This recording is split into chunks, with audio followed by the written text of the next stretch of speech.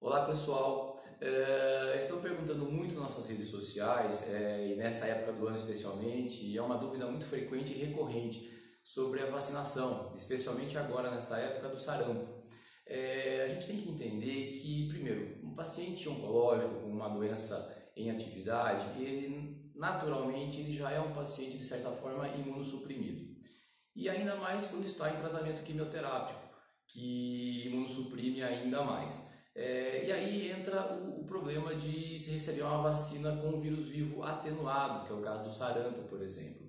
É, o paciente, o sistema imune dele não está apto a responder da forma como deveria é, a esta vacinação, inclusive podendo desenvolver a doença por conta disso. É, aqueles pacientes que muitas vezes é, estão com um tratamento adjuvante, aquele paciente que operou a doença e está num tratamento é, vamos dizer assim, é muito comum falar de forma simplificada, profilático ou preventivo, né? Mesmo esse paciente estando em tratamento quimioterápico, não deve receber essa vacina. É, esse paciente, especialmente, deveria esperar seis meses após o término da quimioterapia para receber essa vacina. Agora, os pacientes com a doença é, é em atividade e ou em tratamento também é, não devem receber por conta de ser um vírus, vírus vivo atenuado, ok? Obrigado, bom dia.